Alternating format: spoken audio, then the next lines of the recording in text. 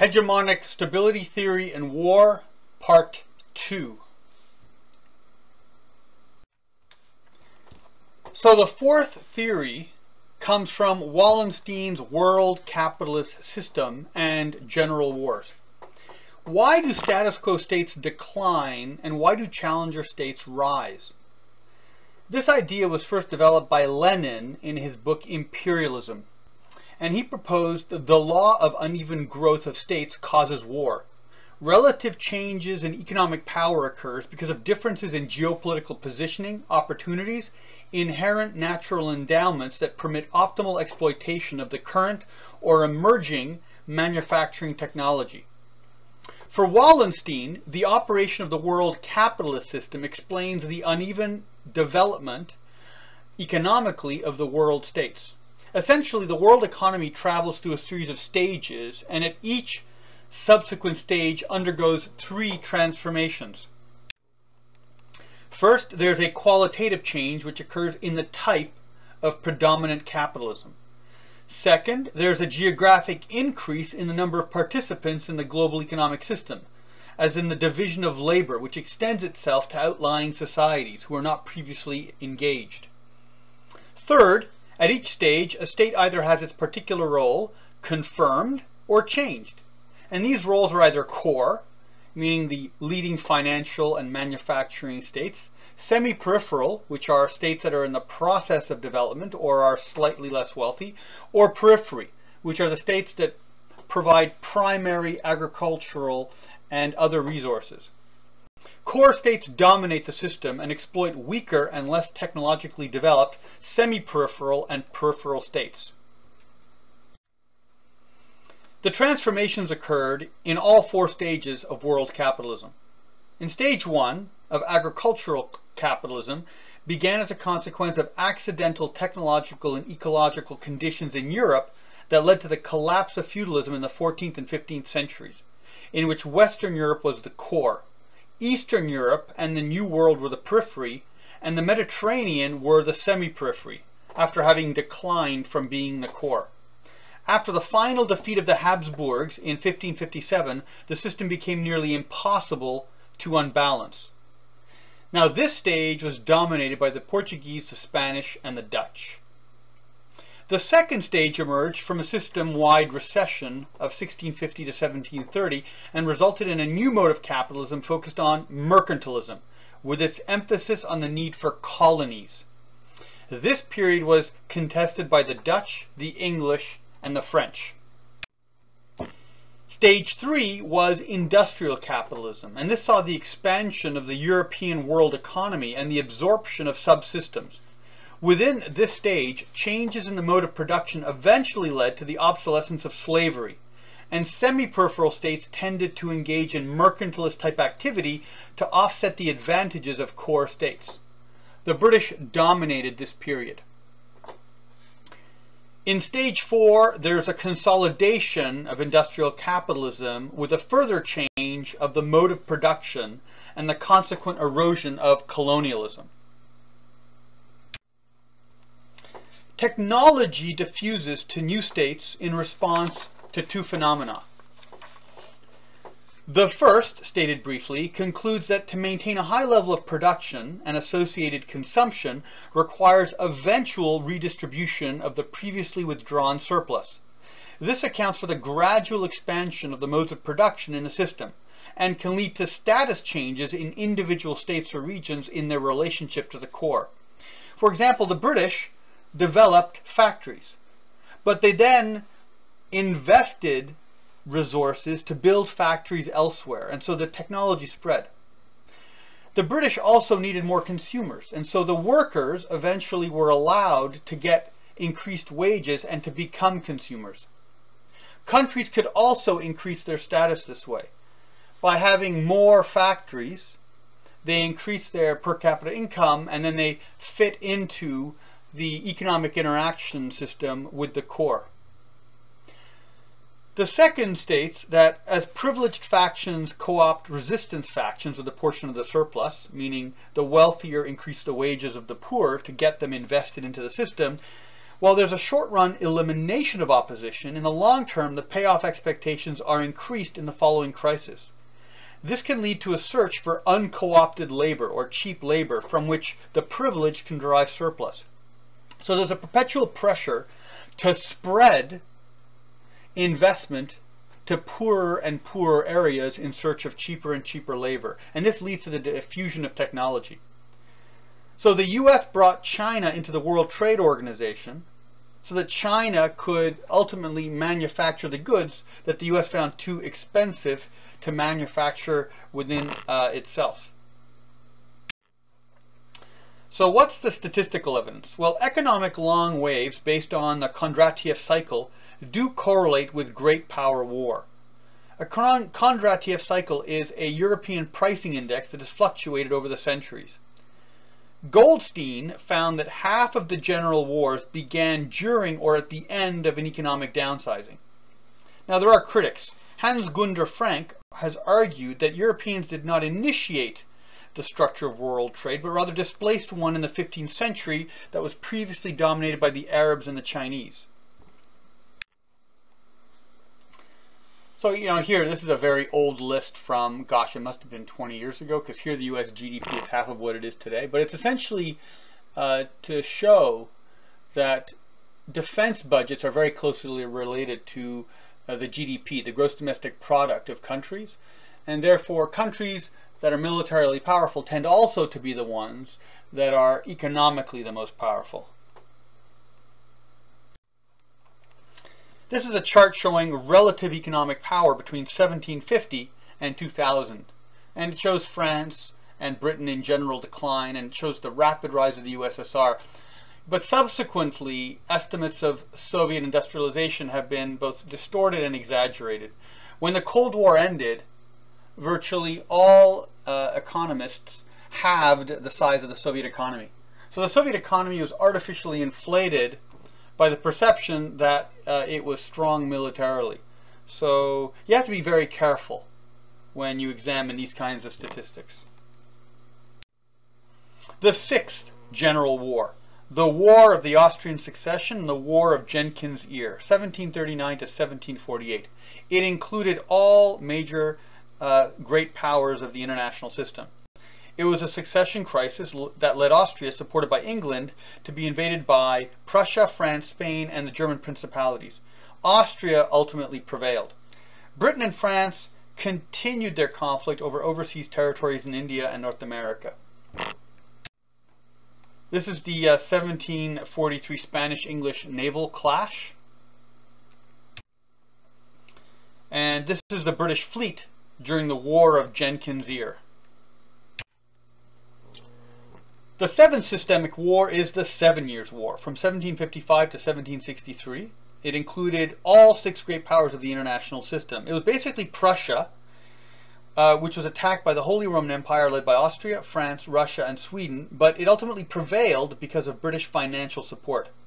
The British used the distraction of this war to capture North America and India. You can see in the extreme left Clive of India, uh, he was the victor at the Battle of Plassey, which was the key victory that put the British in domination of India. The French commander is at the top right, Dupleix. And you can see British soldiers at the uh, bottom and the center. Clive was an agent, or rather uh, a, a, soldier, a senior official of the uh, East India Company. And uh, he originally started as a goon or basically a gangster in England who ran a local extortion racket. And he was so successful, the company hired him. So it tells you something about the uh, types of people working in the East India Company.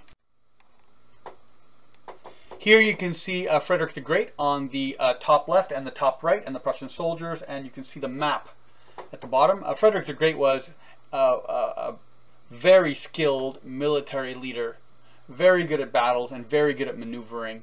And Prussia paid a very severe price because it was terribly outnumbered. Um, but with uh, leadership and British financial support, Prussia prevailed and managed to fight off all its attackers.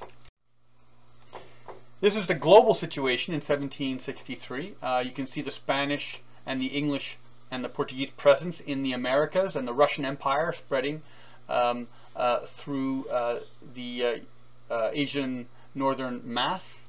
And you can see the Europeans beginning to establish empires in Asia. You see the British East India Company in India. So this is a chart of the British Navy's growth between 1603, where they had 42 vessels, and 1890, when they had 10 times as many, and the rapid growth in the size of the ships, and the incredible cost that these ships uh, uh, were. And you can see in 1803, which is when the British were fighting a war against Napoleon, uh, the fleet was almost as expensive as in 1890 when the British were at peace. So maintaining the peace is expensive if you're a hegemon.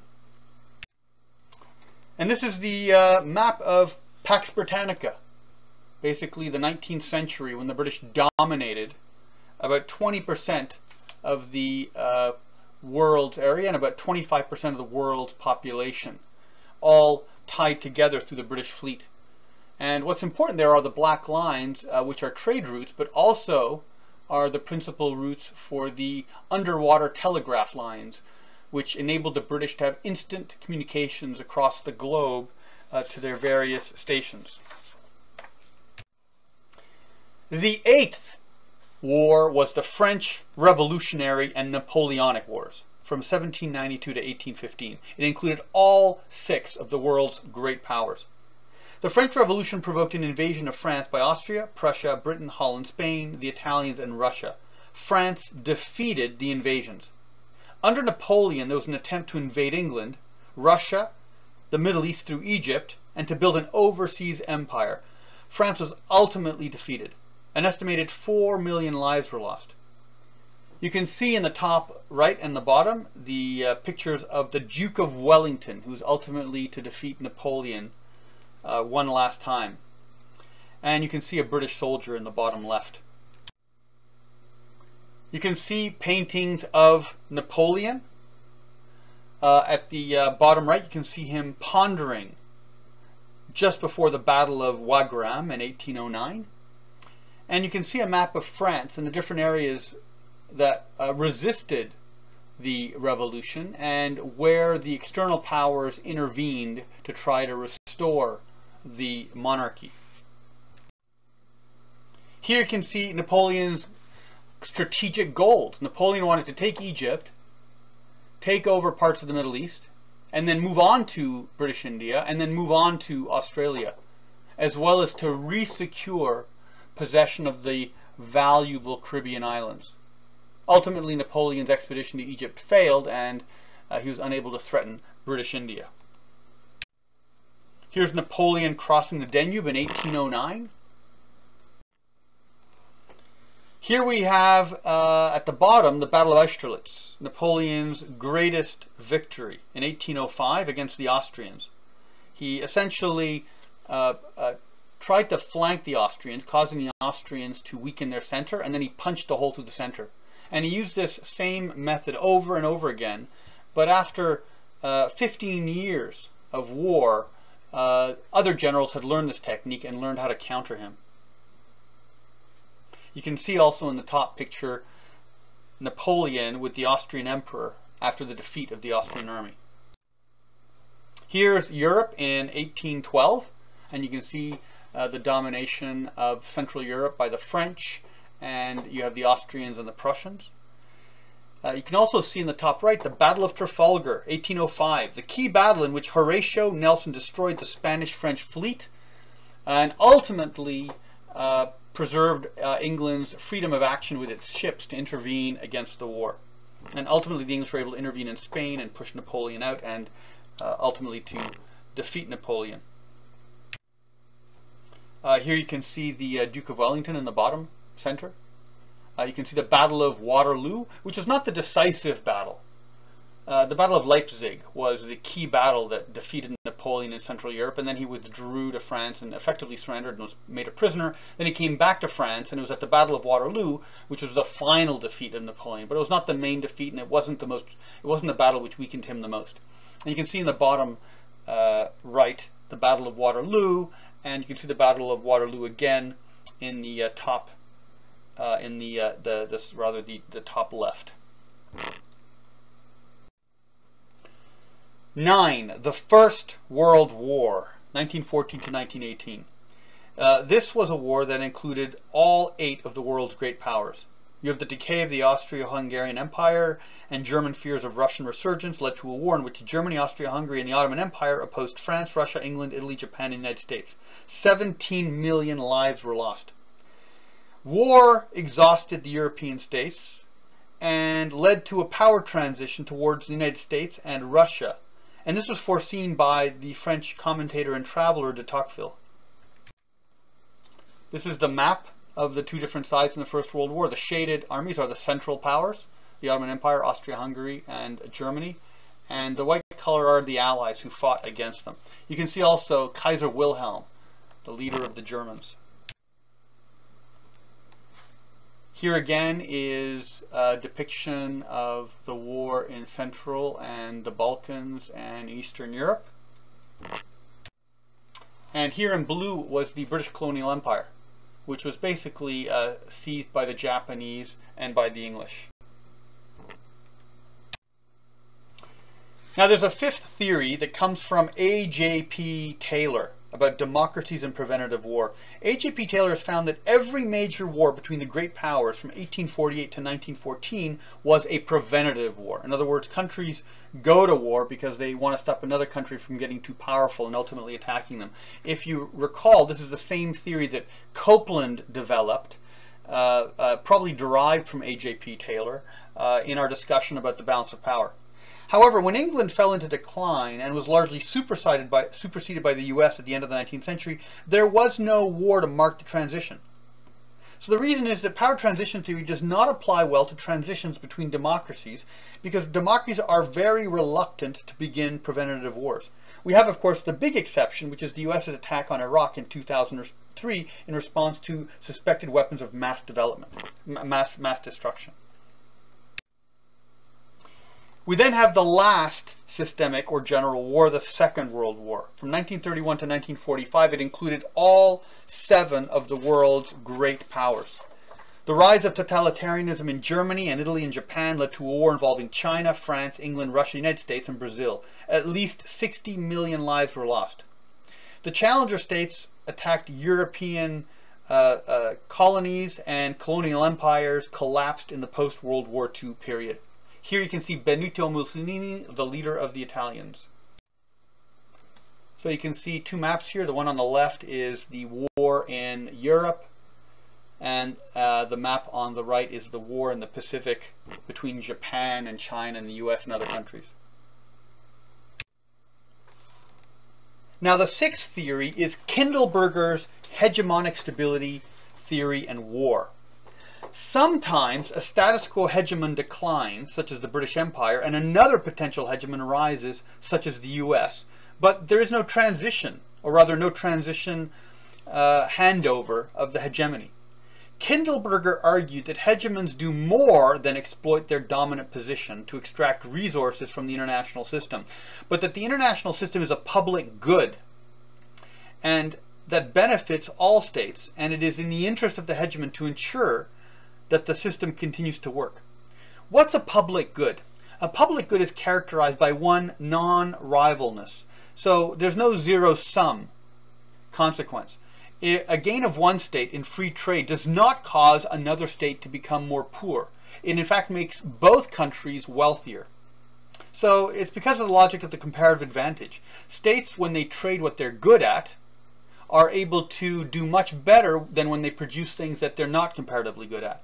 So if every state manufactured and exported and traded what they were good at and bought what they didn't have, collectively everyone would be better off. The second characteristic of a public good is non-exclusiveness, meaning no uh, states may benefit from trade and there's nothing you can do to exclude a country uh, from that advantage. It's like dealing with pollution. When you lower pollution, everyone wins, but you also can't stop other countries from benefiting from the drop of pollution. So some states should be responsible for enforcing navigation rules and fighting against, for example, piracy that reduces uh, trade. Here you have incidents of piracy at the end of the 20th century, and you also have a British uh, ship here fighting the Barbary pirates off the coast of North Africa.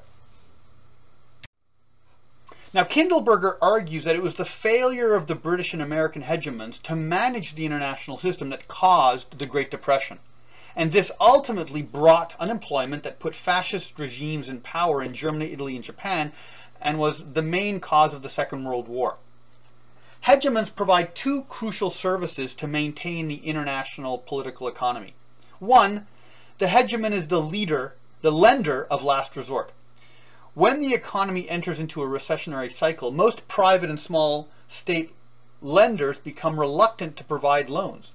Typically, the hegemon uh, enters and provides low interest counter-cyclical loans to desperate businesses and other small states. And in the 1870 Great Depression, not the 1930 uh, Depression, but in the 1870 Great Depression, this is precisely what the English did. They extended credits from banks to keep the economy going. In the short term, the English had to pay for this, but in the long term, the British benefited because the system uh, uh, created markets that bought British goods. The hegemon is also the market of last resort. As an economy enters a recession, states tend to become protectionist to protect domestic employment by raising tariffs to keep out foreign competition. Because all follow the identical strategy, trade flows come to a halt, actually worsening unemployment in all of the states. The hegemon keeps its tariffs low to provide countercyclical market for states that can't sell their goods elsewhere, and thereby maintains the integrity of the free trade system. But of course, it's politically difficult because the British workers lose their jobs. So it can only be done by a wealthy hegemon. So this is what the English did in 1870.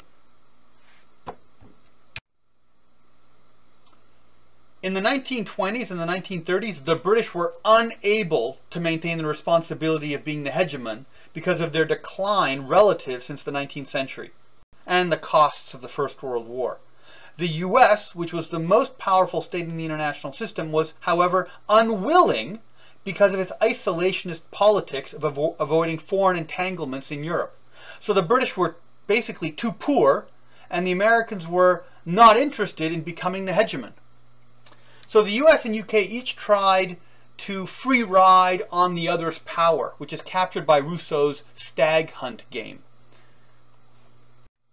Here you can see uh, the colonies the US secured in the Caribbean and in Asia. So the US was isolationist with regard to Europe. They didn't want to get into foreign entanglements, but they were definitely not an anti-colonial power. After the uh, Spanish-American War, the Americans seized Guam and the Philippines, and the U.S. landed in Hawaii uh, in order to deal with the danger that the Japanese would take it over because of the very large uh, ethnic Japanese population in Hawaii. So here you can see a depiction of the stag hunt, which you're going to see uh, soon enough in a game theory lecture. You have player A and player B and the player strategies are the uh, columns for player B and the rows for player A. And it, it, in Rousseau's stag hunt, very, very briefly, you have a bunch of hunters trying to chase a deer, and if they cooperate, they catch the deer. But if the hunters suspect the other hunter's are not cooperating, a hunter can always chase a rabbit and get a, get a rabbit instead. But by doing so, they leave a hole, and then the stag is going to run through the hole and escape, and no one's going to get the benefit of the stag. And because everyone fears abandonment, everyone's going to chase a rabbit. But the problem is if everyone chases a rabbit, it makes too much sound, and so all the rabbits escape, and then no one has any food at all. So the depression of the 1930s that was triggered by the 1929 stock market crash began as a simple recession, which is inevitable in the upswing and downswing of the business cycle. However, the recession became long and deep because of the absence of any willing hegemonic intervention to keep the recession from turning into a long, difficult depression. So this was an entirely avoidable outcome. The 1929 stock market crash was not inevitably going to create the Great Depression of the 1930s. It was allowed to happen by great powers not coordinating how they were going to provide services, public goods, to the international system. Basically, lenders and markets of last resort. The United Nations was established at the end of the Second World War not to stop war directly, but to provide the institutional framework to support the World Bank and the International Monetary Fund. And these were designed specifically to ensure there was never a Great Depression again that would lead to fascist governments going and, and starting a war through radical foreign policies. This is the flow of oil in the world that the U.S. Navy protects. This is the incidence of piracy 20 years ago in Southeast Asia, which again, local navies have a responsibility with the support of the hegemon to stop. Because if you have too much piracy, it's going to inhibit trade. Now there are critics. Joanne Gowa has argued that there is no need to have a hegemon to maintain an international economic system. First of all, free trade is a myth. Hegemons do not pursue free trade, but instead they look for optimal tariffs and they use force to manipulate the system to ensure, ensure these benefits. Number two, free trade is not a public good, but it can be excludable. The hegemon excludes states from trade that do not submit to its authority in the international system. North Korea has a great many limitations on who it can trade with. States like Iran have difficulty exporting oil to certain countries that have sanctions on them, like Venezuela. Number three, smaller states can actually cooperate to maintain a public good without needing a hegemon under certain circumstances. The circumstance is called the Coase theorem, C-O-A-S-E. And there's a fair bit of literature about how the small countries can overcome coordination problems. And the Coase theorem shows that you don't need a coordinator or a director to achieve these outcomes. Now we have the Cold War and the Long Peace, and the Cold War is not a general war. After the Second World War, air power replaced naval power as the key to controlling the oceans. At the end of World War II, the US had over 50% of the world's productive capability.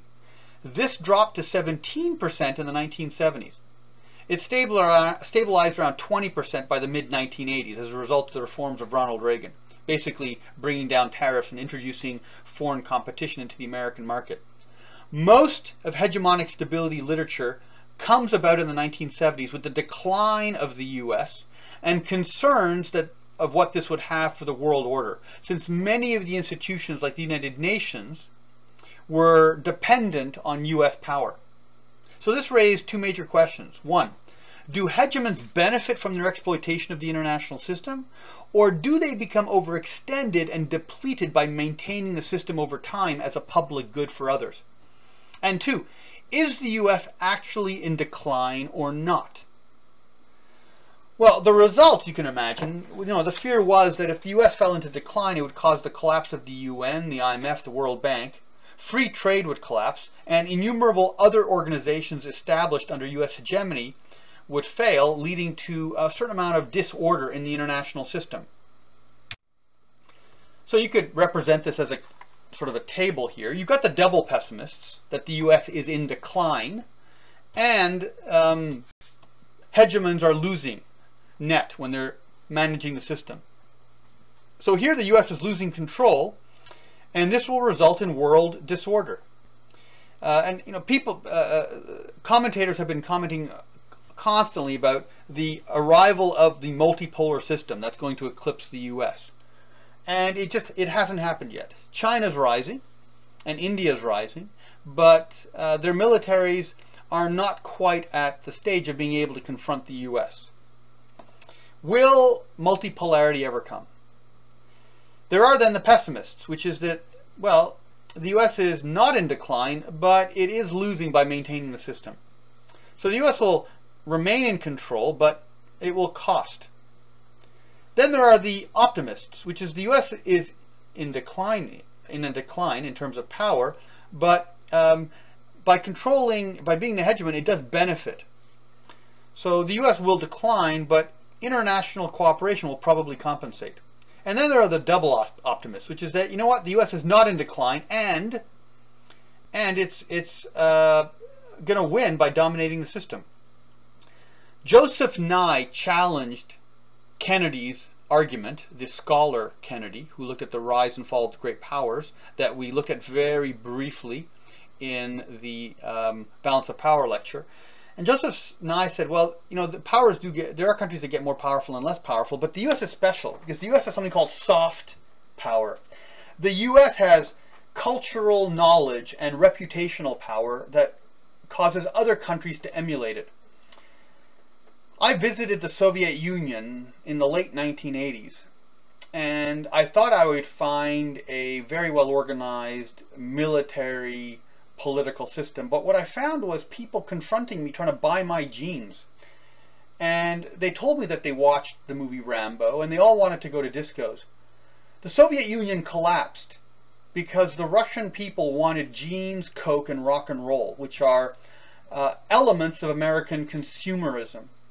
And that's a kind of soft power because it's not something controlled by American leadership. But there's also the power of human rights, of democracy, and these were crucial in causing the very rapid collapse of Eastern Europe and the Warsaw Pact, Poland, East Germany, Hungary, Czechoslovakia, Romania, and Bulgaria. In, in about 12 months, they went from a strong working class supporting communism to mass demonstrations in the streets and to total collapse of communist governments. Now, Jack Levy has indicated that there was a 0.005 probability of no war between the great powers in the period of 1945 to 1989 based on the last five centuries of warfare. Thompson and Modelski have projected the next war to occur in 2030 based on their long cycle calculations of the fluctuations of naval power. Some long cycle theorists have proposed that nuclear weapons have broken the link between long cycles and war, and this explains the end of the Cold War without a general war between the capitalist West and the Soviet Union. Others have suggested that changing attitudes towards war, economic interdependence, and the bipolar structure of the Cold War kept the peace since the Second World War. This suggests perhaps that hegemonic cycles are not homogeneous, but they evolve as they proceed, although how precisely is difficult to say. So there's some sort of learning going on. Perhaps there was never simply a power transition between because the Soviet Union was too weak. Well, here you can see a chart of um, American and Soviet military spending it rise, rose and dropped. And specifically, the, the Soviets were never in a position to do a power transition. All they could do was threaten military attack. So what's next? What will be the source of power for the next hegemon? Will it be information technology like computers and the internet? Will it be biotechnology like genetic engineering? Here you've got Khan, who's the genetically engineered warrior from Star Trek? Will it be liberal culture? Who will bring up the next best thing for the dominating culture? Is it going to be K-pop? However, it's very important. Hegemons must be able to feed themselves. Spain became desertified as it chopped down the trees to build its ships. England imported food and resisted Napoleon and the Kaiser, but in World War II, it needed help from the US in order to feed itself. Russia collapsed because it could not feed itself. Gorbachev was an agricultural engineer placed in power to revive Russian agriculture. China, if it's blockaded, could not feed itself, and therefore could probably not be the next great power. India can export food, so perhaps it's a more likely candidate. So this is sort of a made-up projection by my students. I, I, basically pulled my grad students and asked them, who do you think is going to be the next great power over the different centuries and decades? Uh, it's entirely speculative. Uh, but it shows you ranking of military, economic, uh, technology, biotechnology, and population tech, uh, uh, levels.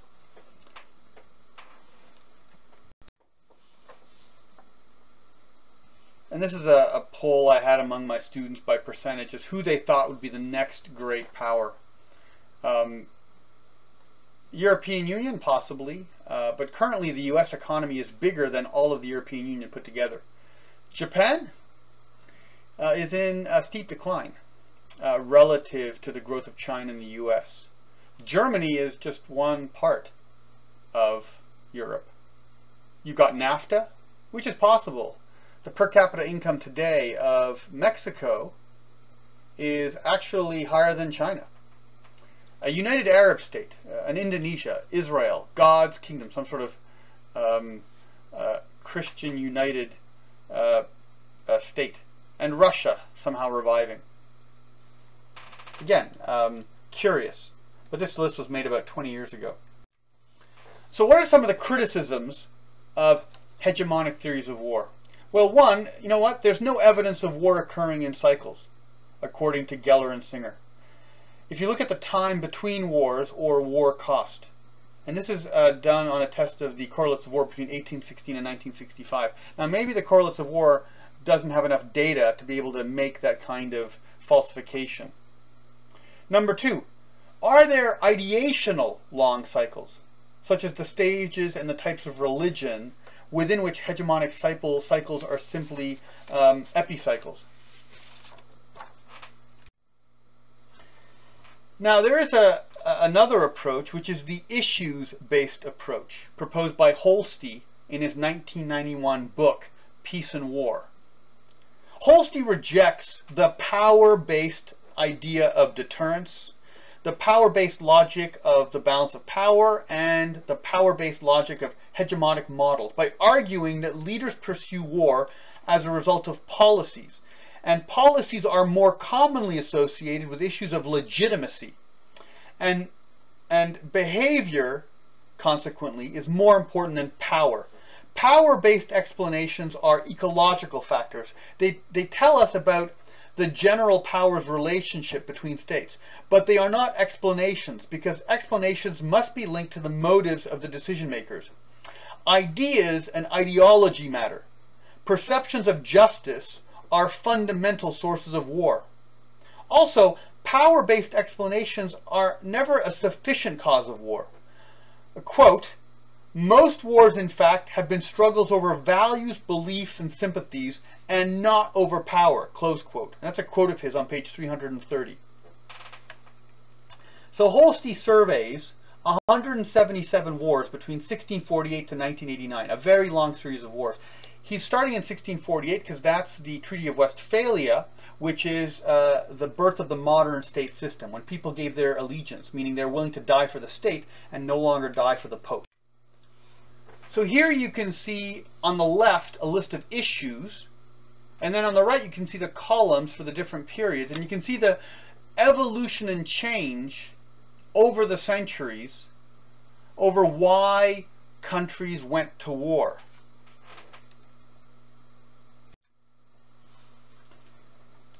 Now, a major variable for Holsti is the general attitude towards war among leaders, populations, and intellectuals. A major motive for conflict was revenge wars, such as France in 1815. When the British fought the Seven Years' War, they used Prussia to distract all the other major European powers. And the British were able to defeat the French in Quebec and defeat the French in India and build the beginnings of their large empire. When the American Revolution broke out, it had a very low prospect of success. The British had a, a large army and an efficient navy. So the French decided to intervene along with the Spanish. And the French intervened successfully because they told all the other European powers, we are not here going to profit. We're not going to change the territorial status quo. This is a revenge war. We want revenge for losing Quebec and India. And we are going to defeat the English, but ask for nothing in return. And this is what happened. The French deployed their navy into the North uh, American and, and the Caribbean waters, distracted the British Navy long enough for the Americans to isolate and defeat the British armies. And ultimately, the Americans were successful at Yorktown. Now, the French were eventually defeated. Their navies were eventually defeated in naval battle, but it was too late. The British had lost. And the French asked for nothing. It was a revenge war. So, why would a country go to war if it was not for profit? Right? So, uh, in, to some extent, we can anthropomorphize a country if we can anthropomorphize the decisions by the leaders. And in some respect, Germany's war in 1939 was also a revenge war.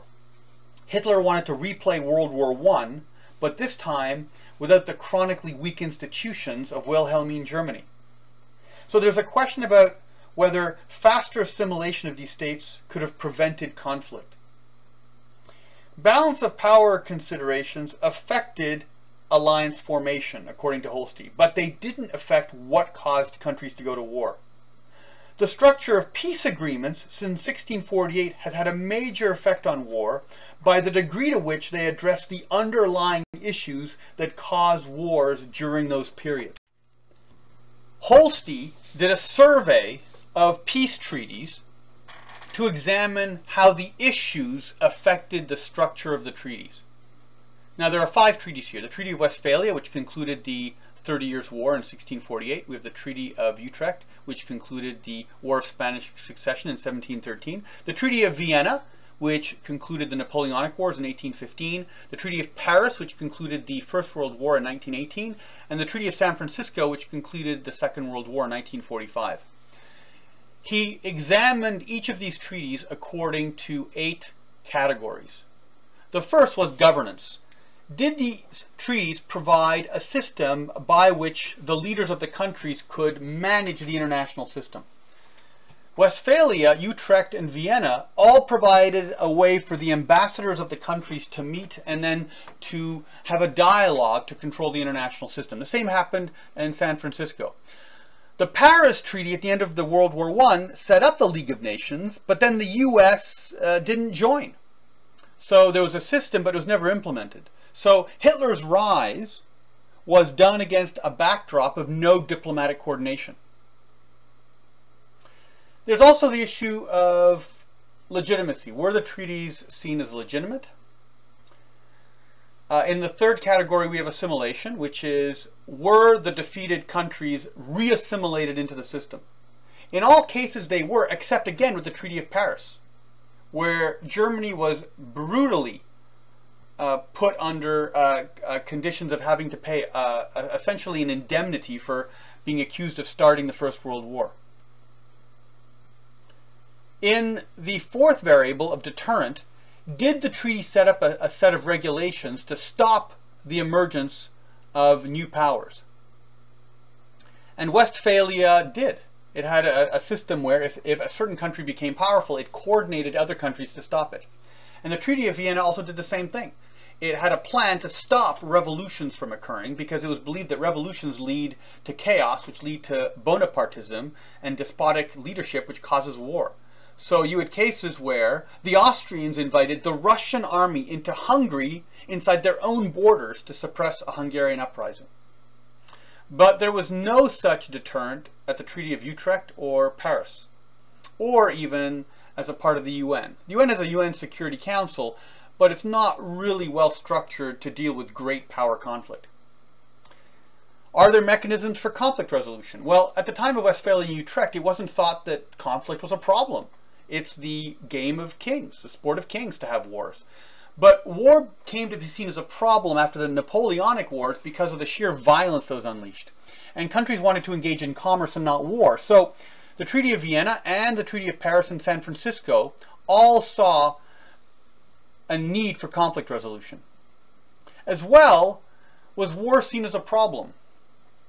Well, um, it became uh, to be seen as a problem, particularly after the, uh, the end of the First World War, popularly, and at the end of the Second World War because of the scale of the violence. Uh, do these treaties have mechanisms for peaceful change? I mean, can, can they be altered? None of these treaties, except for Paris, had provisions to be changed. And in terms of future issues, none of the treaties addressed future issues. So an interesting paper would be to study whether the structure of the treaty had an effect on the subsequent uh, likelihood of, of the lasting peace.